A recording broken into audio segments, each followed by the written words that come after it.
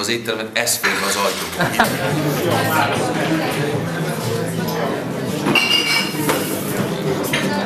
Uraim, ilyen, mit tudja arra? Igen. Pillanat fogja. Telefonál.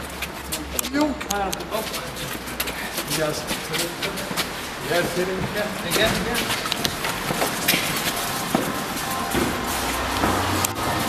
Most így nem.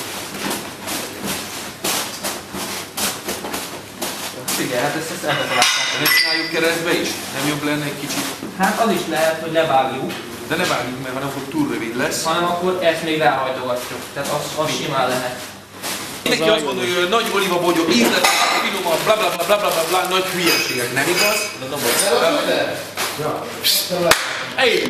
Na, a zsírossága, a zsírossága, a nagy olivabogyó védekezik a melegtől, ezért zsírosabb. Ezzel általában a déli országokban találkozunk vele. A kisebb magokat Toszkánában, például Ligóriában tudunk találkozni, ezek kisebbek, nem létezik fekete olivabogyó, létezik adlizsán színű olivabogyó, általában oxidációval történik az, hogy mindenki szép, fekete olivabogyókat vesz a boltba.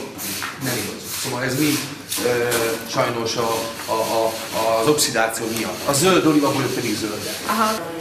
Ez most tulajdonképpen az, amit lehet venni a Ez most egyszerű, egyszerű, kerülgetéshez. igen. ez Nem egy- kellnek ilyen speckóak? Nem, nem, nem. Ez egy nem, nem egy igényes növény azért, nem? Többnyire nevez, ez kicsit olyan, mint egyébként, tehát hogyha, ha, ha jó a körülött a mikroklíma, tehát itt ez egy ilyen zárt teret, ilyen veranda lesz, hogy télen is valamire, hogy egy fűt lesz, mert Gianni mondta, hogy nem tudom hány fokig télálló, persze ez igaz, de azért nagyon sok olyan mediterrán növény van, egy másodperc, tehát nagyon sok olyan mediterrán növény van, ami ugyan igaz, hogy télen is túlélik, de mondjuk igazi szépségét azt akkor mutatja meg, hogy azért télen is melegebb helyen van. Aha. De egy termó. Igen, ez egy term, igen, ez nagyon-nagyon... Termesztésben is használják még az ilyen TNT-nek hívják. TNT. Szép. Nem, kell. ezzel nem kell. Megsértjük végre. Meg már benne volt azt, amit ti még nem. Hát Giannikán meg lehetsz elégedve. Igen? Aha. Csodálatos.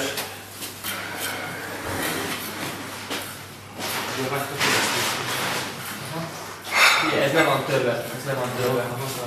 De nem baj, figyelj, majd utána egy megcsólóval, itt meg ott van még egy legtöbb, azt nagyon szépen majd leszedjük, jó? Úgyhogy ennyi, ennyi, ennyi belefér. Hát ugye ez tökéletes. És tudod, hogy mi benne jó?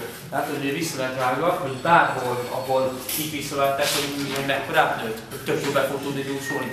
Jó, jó. És a következő legfontosabb dolgot kell eldönteni. Amikor ültetünk, és van egy ilyen kontinens anyagunk, akkor nagyon fontos, hogy ahová beültetjük, ott a teteje ugyanott legyen, mint itt a természetben van. Jó, jó, csak segítettem